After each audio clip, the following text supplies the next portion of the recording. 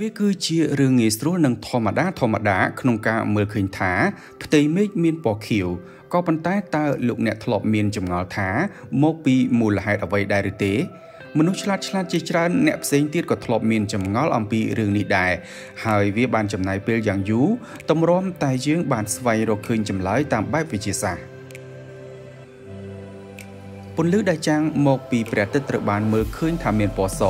ប៉ុន្តែតាមពិតទៅមានរួមផ្សំឡើងពីគ្រប់ពណ៌ទាំងអស់ដោយដែលមាននៅក្នុងឥន្ធនូ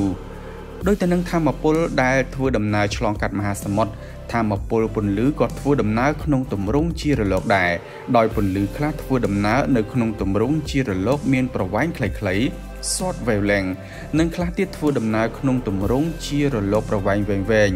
long wavelength ហើយពន្លឺដែលមានប្រវែងរលកវែងជាងគេគឺពណ៌ក្រហមខណៈពន្លឺមានប្រវែងរលកខ្លីជាងគេគឺពណ៌ខៀវ គ្រប់ពន្លឺទាំងអស់ធ្វើដំណើរក្នុងគោលដៅត្រង់ស្មើលើកលែងតែមានអ្វីមួយយ៉ាងមកប៉ះផ្លូវរបស់វាដែលជាលទ្ធផលអាចបំផ្លាញឬពុតផ្លាស់ប្ដូរទិសរបស់វាក៏ប៉ុន្តែពន្លឺក៏អាចបែកខ្ញែកឬបាចសាច់ផងដែរនៅក្នុងករណីវាឆ្លងកាត់ម៉ូលេគុលរបស់អូស្មန်ផ្សេងផ្សេងនៅក្នុងបរិយាកាសផ្ទៃមេឃមានពណ៌ខៀវពេលថ្ងៃត្រង់ តួយ៉ាងនៅពេលពន្លឺព្រះអាទិត្យឈានចូលមកដល់បរិយាកាសនៃភពរបស់យើង វានឹងបាចសាចពីពេញបរិយាកាសទៅកាន់គ្រប់ទិសទីដោយសារតែឧស្ម័ននិងភាគល្អិតផ្សេងផ្សេងជាច្រើននៅក្នុងខ្យល់អាកាសហើយនៅពេលនោះពន្លឺពណ៌ខៀវនឹងបាចសាចទៅគ្រប់ទិសទី ច្រើនជាងពន្លឺមានពណ៌ដតីដតីទៀតដោយសារតែវាធ្វើដំណើរក្នុងទម្រង់ជារលកខ្លីៗប៉ុណ្ណោះប្រកាសហេតុនេះទើបយើងមើលឃើញផ្ទៃមេឃជាទូទៅមានពណ៌ខៀវនៅពេលថ្ងៃត្រង់ យ៉ាងណាមិញពេលងាកទៅមើលក្បែរជើងមេឃវិញយើងសង្កេតឃើញថាផ្ទៃមេឃបានរំសាយទៅជាពណ៌ខៀវខ្ចីស្ទង់ស្ទង់ឬមួយក៏ពណ៌សតែម្ដងនេះគឺព្រោះតែពន្លឺព្រះអាទិត្យដែលឈានដល់ជើងមេឃបានធ្វើដំណើរឆ្លងកាត់បរិយាកាសកាន់តែជ្រៅក៏ដូចជារងខ្យល់អាកាសកាន់តែវែងឆ្ងាយថែមទៀតជាងពន្លឺព្រះអាទិត្យដែលចល័តមកចំពីលើក្បាលយើងផ្ទាល់ជាងនេះទៅទៀតដោយសារតែពន្លឺព្រះអាទិត្យឆ្លងកាត់ខ្យល់ទាំងនេះ ម៉ូលេគុលរបស់វាក៏បំបែកពន្លឺពណ៌ខៀវជាច្រើនលើកច្រើនសារទៅកាន់ទិសដៅជាច្រើន បន្ថែមពីនេះផ្ទៃផែនដីក៏បានរួមចំណែកបំផ្លាតនិងធ្វើឲ្យពន្លឺទាំងនោះខ្ចាត់ខ្ចាយផងដែរដែលប្រការនេះបាននាំឲ្យមានការលាយឡំពណ៌ជាច្រើនបញ្ចូលគ្នាម្ដងទៀតដូច្នេះហើយពេលខ្លះយើងមើលឃើញពណ៌សច្រើនជាងពណ៌ខៀវលើផ្ទៃមេឃផ្ទៃមេឃពណ៌ក្រហមឬទឹកក្រូចនៅពេលល្ងាចចំពោះពេលព្រះអាទិត្យរៀបលិច ហើយជើងមេឃប្រែជាមានពណ៌ក្រហមឆ្អិនឆ្អៅវិញនោះគឺកើតឡើងស្របពេលដែលព្រះអាទិត្យបន្ទាបខ្លួនកាន់តែទាបជិតផុតទៅបាត់តែពេលនោះពន្លឺព្រះអាទិត្យនៅតែបន្តធ្វើដំណើរឆ្លងកាត់បរិយាកាសមកយើងបន្ថែមទៀតហើយក៏ជាពេលដែលពន្លឺពណ៌ខៀវចល័តខ្ចត់ខ្ចាយទៅបាត់ដែរទើបអនុញ្ញាតឲ្យពន្លឺពណ៌ក្រហមនិងលឿងធ្វើដំណើរឆ្លងកាត់មកដល់ភ្នែកទាំងគូរបស់អ្នកដែលមើលទៅប្រៀបបីដូចជាពណ៌សាច់ផ្លែល្ហុងរៀបនឹងទុំ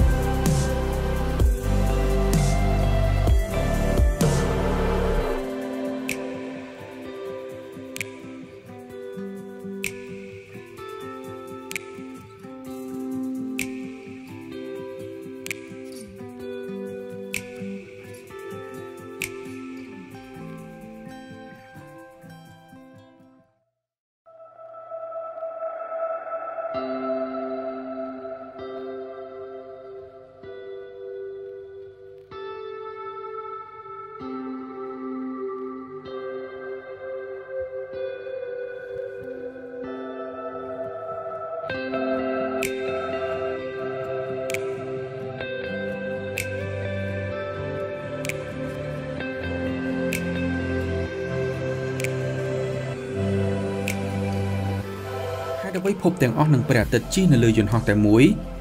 ស្វែងយល់ឡើងវិញអំពីកំណើតនៃប្រព័ន្ធព្រះអាទិត្យប្រសិនបើអ្នកបានសិក្សាយល់ដឹងច្រើនមកហើយអំពីការកកើតនិងស្ថានភាពជារួមនៃប្រព័ន្ធព្រះអាទិត្យយើងនេះអ្នកប្រកាសជានៅមានសំណួរមួយបង្កប់នៅក្នុងចិត្តជាក់ជាមិនខានអ្នកប្រកាសជាដឹងហើយថាព្រះអាទិត្យភពទាំងឡាយព្រះច័ន្ទនានានិងអាចផ្កាយទាំងអស់ហាក់ដូចជាកំពុងជិះនៅលើយន្តហោះតែមួយ ប៉ុន្តែតាមមូលហេតុអ្វីទើបអាចបង្កើតស្ថានភាពដូចនេះដើម្បីឆ្លើយសំណួរនេះយើងត្រូវធ្វើដំណើរទៅរកការចាប់កំណើតនៃប្រព័ន្ធព្រះអាទិត្យប្រហែល4.5ពាន់លានឆ្នាំមុន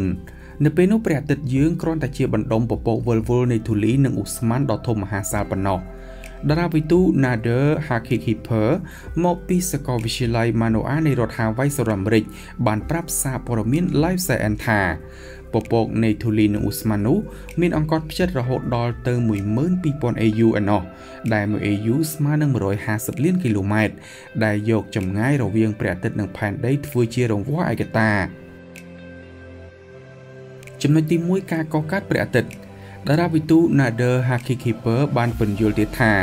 បណ្ដុំពពកធូលីនិងអ៊ូស្មန်ទាំងនោះបានវិវត្តកាន់តែធំឡើងធំឡើងបើទោះបីជាវាមានតែម៉ូលេគុលធូលីនិងអ៊ូស្មန်ក៏ដោយហើយបន្ទាប់មកទៀតបណ្ដុំពពកទាំងនោះក៏បានដួលរលំ និងបង្រួមមកវិញដោយម៉ាស់របស់វាខ្លួនឯង នៅពេលចលនាពពកវិលនៃធូលីនិងអ៊ូស្មန်ទាំងនោះសង្រួមអតិពលមកវិញ វាក៏មានសភាពរាបស្មើដែលយើងហៅថាបន្ទះឌីធូលី និងអ៊ូស្មန်នោះផងដែរ សាកស្រមៃអំពីម៉ាស៊ីនក្រឡុកម្សៅធ្វើនំភីសាដោយនៅពេលដែលអ្នកបោះម្សៅមួយដុំចូលទៅកាន់ម៉ាស៊ីនកំពុងវិលនោះម្សៅនឹងត្រូវក្រឡុកទៅក្នុងខ្យល់នៅពេលដែលវាវិលនោះដុំម្សៅនឹងលាតសន្ធឹងប៉ុន្តែវានឹងមានសភាពស្ដើងហើយសំប៉ែតវាពិតជាមិនខុសទៅនឹងស្ថានភាពនៃការកកើតប្រព័ន្ធព្រះអាទិត្យយើងពីដំបូងដំបូងនោះទេតារាវិទូ Haki Keeper បានបកស្រាយទៀតថា នៅចំកណ្ដាលនៃបណ្ដុំពពកដែលរាបស្មើ ម៉ូលេគុលអូស្មန်ទាំងអស់នោះបានត្របាញ់បញ្ចូលគ្នាយ៉ាងខ្លាំងហើយពួកវាឡើងកម្ដៅស្ថិតនៅក្រោមកម្ដៅនិងសម្ពាធដ៏មហិមាអាតូមអ៊ីត្រូសែននិងអេលីយ៉ូមបានរួមបញ្ចូលគ្នាហើយក៏ចាប់ផ្ដើមដុតបញ្ឆេះជាលើកដំបូងនៅប្រតិកម្មនុយក្លេអ៊ែរដែលមានរយៈពេលរាប់ពាន់លានឆ្នាំក្នុងទម្រង់ជាទារកផ្កាយឬព្រះអាទិត្យ នៅក្នុងរយៈពេល50លានឆ្នាំបន្ទាប់ទៀតព្រះអាទិត្យបានបន្តរីកលូតលាស់ដោយប្រមូលផ្ដុំអូស្មန်និងធូលីពីតំបន់ជុំវិញវាហើយបញ្ចេញនូវរលកកម្ដៅនិងវិសុសកម្មចេញមកក្រៅវិញបន្តិចម្ដងបន្តិចម្ដង នៅពេលដែលព្រះអាទិត្យកំពុងរីកលូតលាស់វាក៏បានបោះសម្អាតរង្វង់នៃទីអវកាសដែលនៅព័ទ្ធជុំវិញខ្លួនវាផងដែរហើយព្រះអាទិត្យស្ថិតនៅត្រង់ចំណុចកណ្ដាលនៃប្រព័ន្ធដ៏ក្មេងខ្ចីរបស់វាដោយស្វ័យប្រវត្តិ ចំណុចទី2ការកកើតភពនានានៅទីបំផុតបណ្ដុំពពកបានคล้ายទៅជារចនាសម្ព័ន្ធរាងសំប៉ែតដែលគេហៅថាបន្ទះឌីសនៃភពចាប់កំណើតឬ protoplanetary disk ម្ដងមួយម្ដងមួយគោចរជុំវិញព្រះអាទិត្យវ័យក្មេងរបស់យើងក្នុងចំណោមរង្វង់ថាសធូលីសំប៉ែតសំប៉ែតទាំងនោះខ្លះបានលាតសន្ធឹងអង្កត់ផ្ចិតរបស់ពួកវា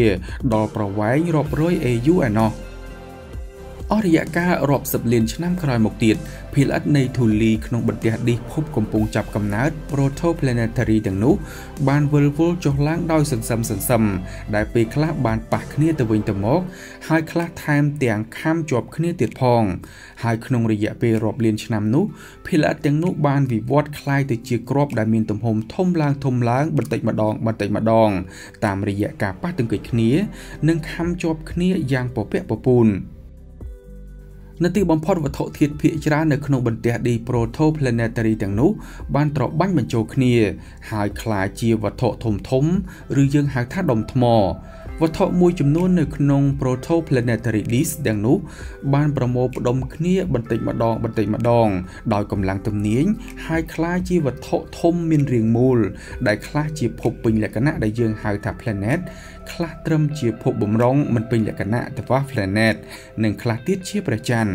ដោយឡែកវត្ថុអវកាសផ្សេងផ្សេងទៀតគឺត្រឹមជាអាចផ្កាយផ្កាយដុះកន្ទុយនិងព្រះច័ន្ទតូចតូចជាដើមប៉ុណ្ណោះ។ បើទោះបីជាវត្ថុទាំងអស់ខាងលើនេះស្ថិតនៅក្នុងទំហំខុសៗគ្នាយ៉ាងណាក្តីក៏សុទ្ធតែស្ថិតនៅលើយន្តហោះតែមួយ ដែលជាទីពួកវាទាំងអស់ចាប់កំណើតឡើងព្រមជាមួយគ្នាមូលហេតុនេះហើយទើបមកទល់នឹងពេលនេះប្រព័ន្ធព្រះអាទិត្យដែលមានភពចំនួន